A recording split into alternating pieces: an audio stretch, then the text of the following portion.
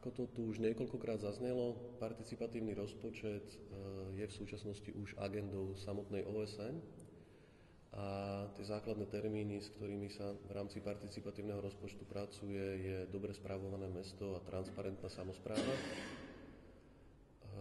najstarší participatívny rozpočet e, je od roku 1989 v meste Porto Alegre v Brazílii o ktorom vlastne minulý týždeň hovoril profesor Joachim Becker.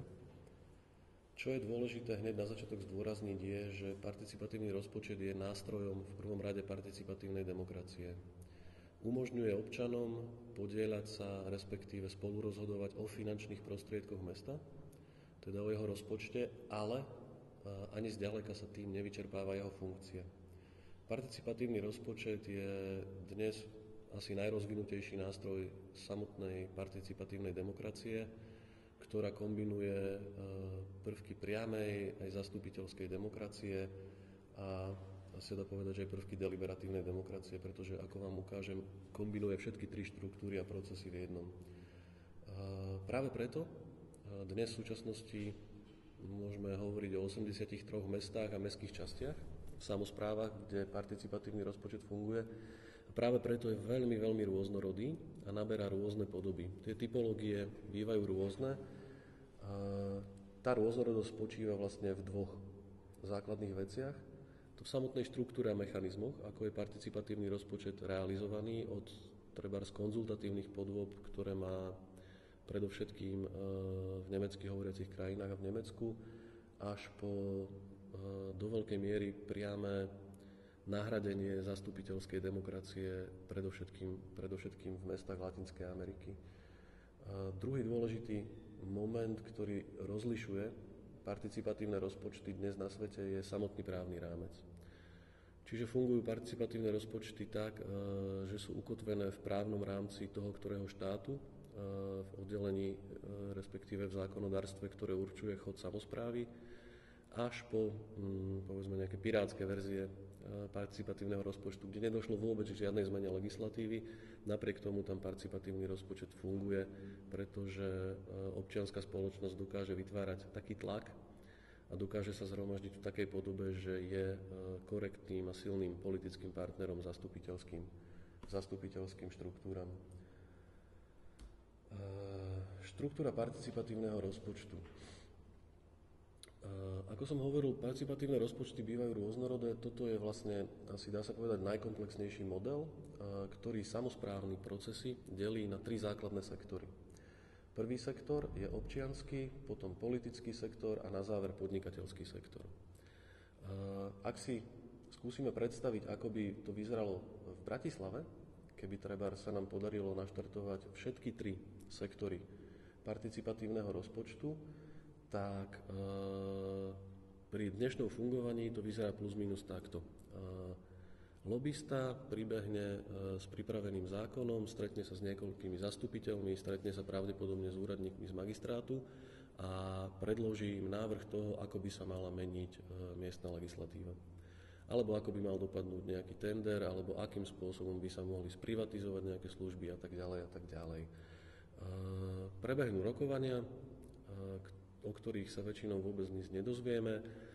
Potom prídu niektorí poslanci s vlastným návrhom, ktorý predkladajú do zastupiteľstva a začína sa rokovanie. V tom momente, keď sa ukáže, že ten zákon je, povedzme, alebo tá právna úprava, alebo nejaký krok vlastne zastupiteľstva, respektíve magistrátu je nevýhodný pre širokú, širokú verejnosť alebo isté časti verejnosti, až v tom okamihu dochádza k tomu, že tá informácia sa dostáva von, vytvárajú sa ad hoc štruktúry e, občianského, občianského segmentu, ktoré sa pokúšajú e, čokoľvek, ktoré sa pokúšajú urobiť čokoľvek e, s tým návrhom, vo väčšine prípadov je neskoro. Ak by, fungoval, ak by fungovalo sektorové členenie a táto štruktúra participatívneho rozpočtu, znamenalo by to niečo také, že lobista prichádza predklada návrh, treba zastupiteľom alebo magistrátu, ale od začiatku transparentne a verejne. Čiže do istého systému, ktorý vám ukážem, ako dnes vyzerá elektronicky, vklada svoje návrhy a od začiatku je prístupný ako občianskému sektoru, tak politickému sektoru, tak samotnému podnikateľskému sektoru. To isté samozrejme platí z opačnej strany. E, to, čo je dôležité zdôrazniť, tam, kde som dal vlastne tú fotografiu radnice, e, vzniká virtuálny, ale nielen virtuálny priestor, kde sa skladujú informácie, vytvára sa knižnica, diskusné priestory a tak ďalej. A tu sa, fungu, e, tu sa vlastne realizuje samozpráva, tu sa realizuje verejný život Bratislavy. Najviac zo sektorového členenia budem hovoriť o občianskom sektore, ktorý sa vlastne teraz e, pokúšame, pokúšame naštartovať a už asi sa dá povedať, že sa nám aj podarilo naštartovať niektoré skupiny. Čo sa týka podnikateľského sektora, tam, tam ak, ak niekedy v budúcnosti k niečomu takému dôjde, tak je to vlastne koncový bod, s ktorým sa pracuje. Čo sa týka politického sektora a vlastne samozprávy a magistrátu a tak ďalej, prvé kroky vlastne už prebehli, prebiehajú a to, že sa magistrát k tomuto projektu prihlásil, je vlastne výsledkom týchto rokovaní, dohôd a, a vzájomnej, dnes už sa dá povedať, že vzájomnej spolupráce. Občianský sektor. Základným stavebným kameňom participatívneho rozpočtu je participatívna komunita. Participatívne komunity vznikajú mm, na základe dvoch kľúčov. Jedným kľúčom je samotné teritorium, čiže e, môžu vznikať a v Bratislave veríme, že v budúcom roku budú vznikať teritoriálne participatívne komunity, ktoré by mali, alebo respektíve ktoré budú kopírovať jednotlivé mestské časti. Takže predpokladáme, že v budúcom roku postupne začnú vznikať participatívne komunity, ako je Ružinov, Dúbravka a tak ďalej a tak ďalej. To, s čím pracujeme dnes, o čo sme sa pokúsili a čo mm, máme za cieľ vlastne postaviť a naštartovať ako prvé sú tematické participatívne komunity. Samotné tematické participatívne komunity opäť môžu vznikať na základe, na základe dvoch kritérií, respektíve na základe dvoch kľúčov.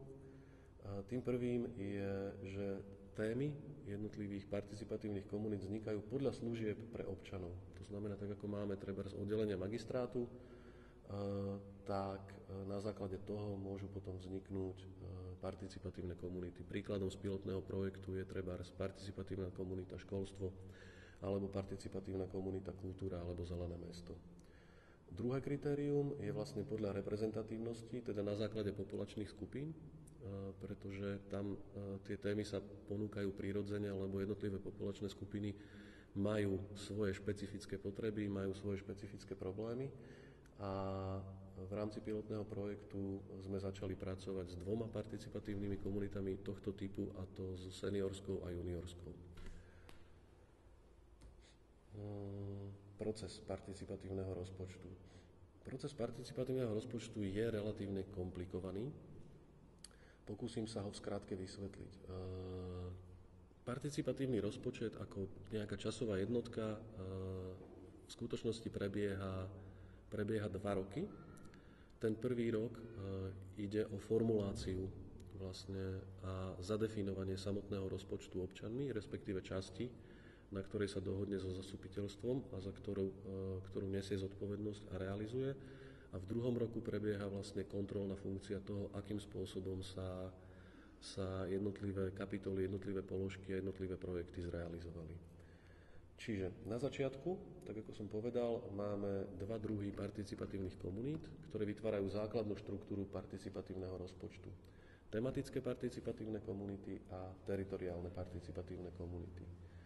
V rámci nich, e, povedzme na začiatku roka, začne prebiehať diskusia o tom, aké jednotlivé priority alebo aké jednotlivé služby a potreby daných participatívnych komunít vychádzajú ako najdôležitejšie v danom roku.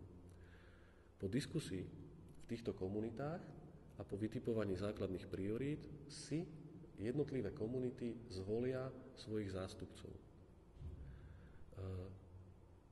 Títo zástupcovia, je veľmi dôležité zdôrazniť, že zástupcom, respektíve potom aj reprezentantom sa človek môže stať jeden jediný krát. Tá funkcia sa e, posúva vždycky ďalej, čím sa do veľkej miery zabraňuje niektorým e, neželaným dôsledkom samotnej zastupiteľskej demokracie.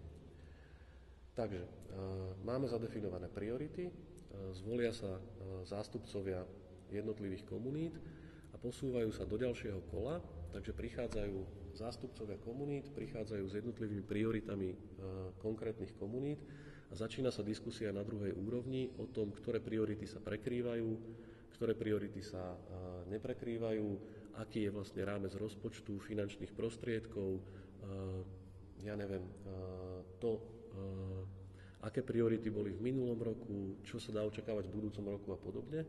A naformulujú sa na novo rámce základných priorít a potrieb pre jednotlivé komunity.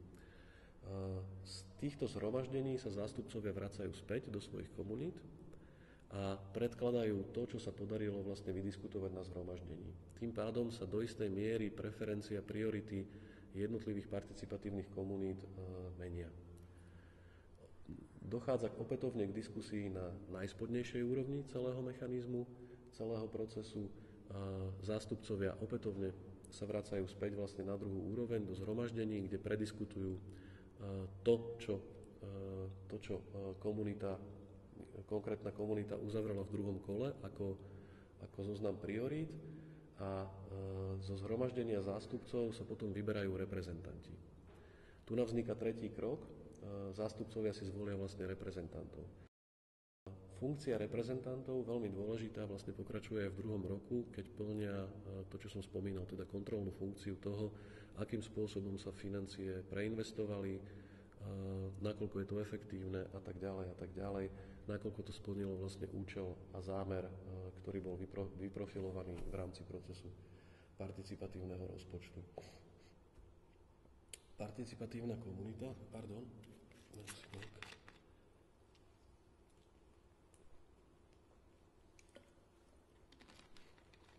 Ako som spomínal, Participatívna komunita je základným, základnou štruktúrou alebo základným kameňom celého procesu participatívneho rozpočtu. A jej základnou funkciou participatívnej komunity je vytvorenie partnerskej, neformálnej, ale formalizovanej občianskej štruktúry pre samozprávne inštitúcie. To znamená, že keď participatívny rozpočet beží ako mechanizmus, získavajú participatívne komunity reprezentatívnu funkciu občianského sektoru. Čo znamená, že majú e, plné právo komunikovať s jednotlivými zložkami magistrátu, ako jediné majú právo predkladať vlastne návrhy a priority, ako jediné majú právo voliť zástupcov a potom reprezentantov a teda formovať celý participatívny rozpočet. Participatívna komunita e, tým pádom je vlastne jediným legitímnym partnerom e, v procese participatívneho rozpočtu vo vzťahu k samozpráve a vo vzťahu e, k magistrátu. Na to, aby taká mohla byť a aby stále platili základné body participatívnej demokracie, e,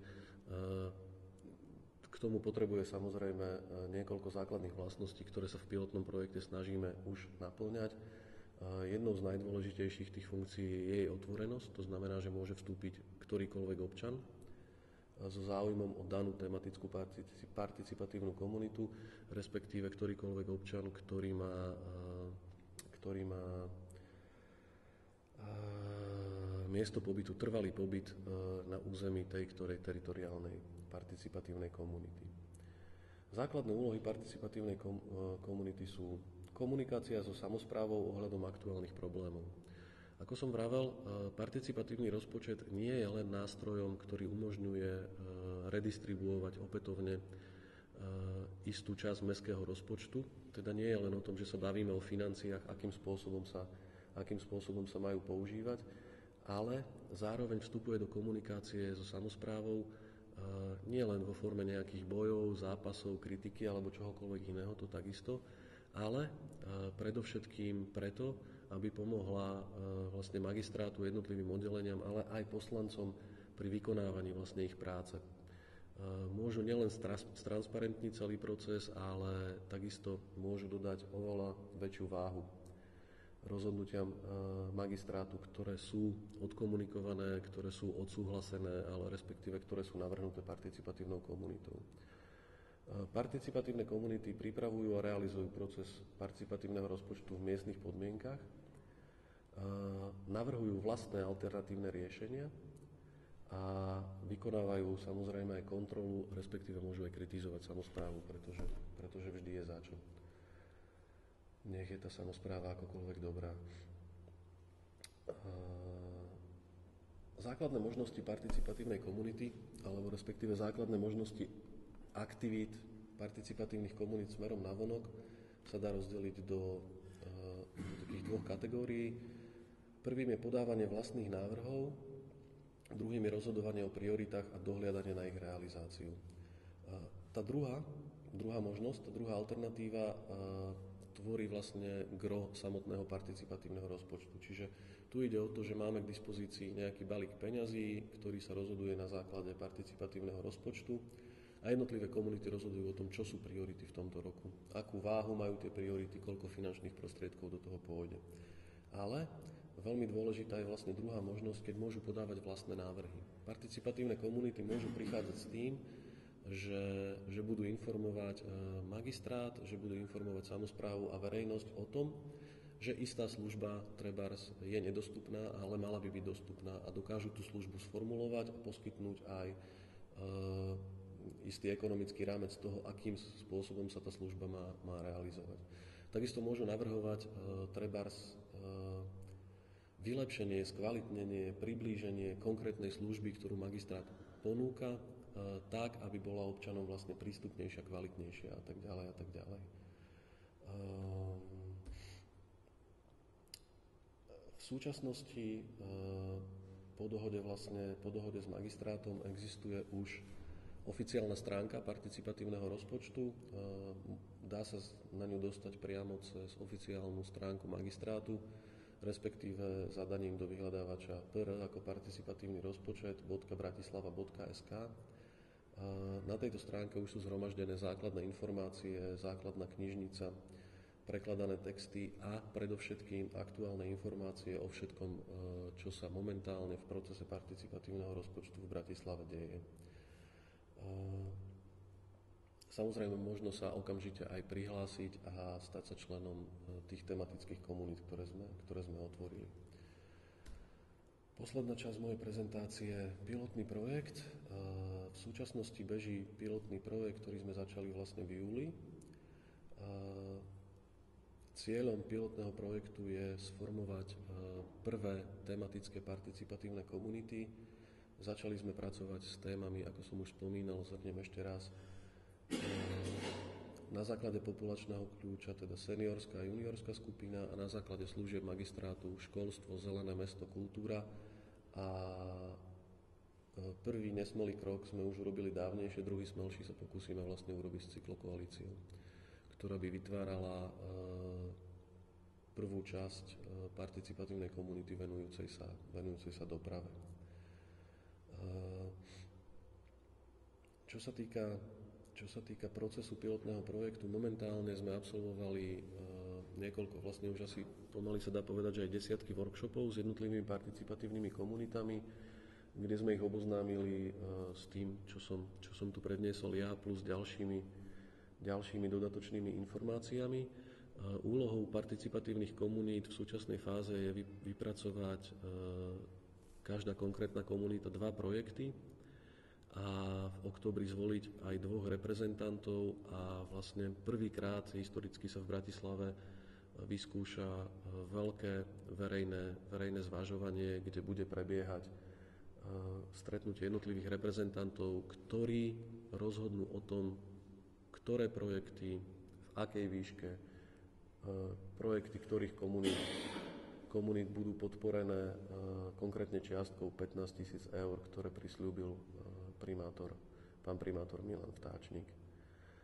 Mm, nezdôraznil som ešte jednu dôležitú vec, keď teraz spomínam vlastne verejné zvažovanie.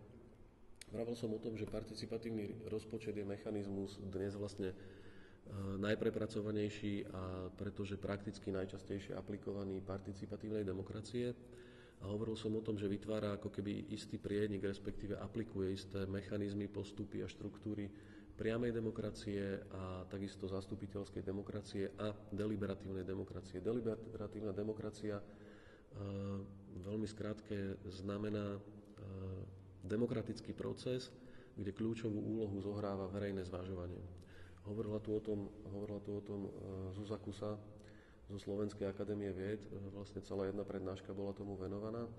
Čo je veľmi dôležité, ako som ukazoval jednotlivé sektory a, a ako som sa pokúsil naznačiť, akým spôsobom by v Bratislave mohol prebiehať vlastne verejný život, akým spôsobom by mohla fungovať samozpráva, a akýkoľvek návrh, ktorý je vo verejnom živote dôležitý, by mohol prejsť procesom verejného zvažovania, ktorý je najtransparentnejší, aký si vlastne v demokracii vieme predstaviť a na základe neho by malo a mohlo dochádzať k jednotlivým, jednotlivým rozhodnutiam. Procedúra hlasovania vystupuje vlastne až v druhej fáze, keď, eh, keď verejné zvažovanie je stroskotá, lebo to sa samozrejme stáva. Na verejnom zvažovaní najúžasnejšie je vlastne to, že sa získava koncenzus eh, najväčšej možnej časti najväčšej možnej časti populácie a nemôžeme hovoriť o niečom takom, ako je tyrania väčšiny alebo čokoľvek iné čo sa pripisuje veľmi pravidelne priamej demokracii a nástrojom, ako sú referenda, verejné hlasovania a podobne. Späť k pilotnému projektu. Takže sme momentálne v plnej práci s participatívnymi komunitami, pracujeme vlastne na projektoch a na výstupoch jednotlivých participatívnych komunít. V mesiaci október sme sa s magistrátom dohodli, že spravíme túto na pôde magistrátu verejnú prezentáciu, kde predstavíme všetky projekty a námety, ktoré priniesli participatívne komunity a oboznámime vlastne verejnosť a média s tým, ako sme v pilotnom projekte ako sme v pilotnom projekte pokročili. Predpokladáme, že v novembri bude pilotný projekt vlastne ukončený. Posledná vec mojej prezentácie je ukážka, akým spôsobom sa môže človek zapojiť hneď tu a teraz. Priamo na stránke pr.bratislava.sk je kolónka, ako sa môžem zapojiť. Stačí vy, vy, vyplniť 4 polička, kapču, stlačiť, uložiť a stali ste sa členom, respektíve požiadali ste o členstvo v jednotlivej participatívnej komunite, ktorú, ktorú, ste si, ktorú ste si v tom procese zvolili. Ďakujem za pozornosť.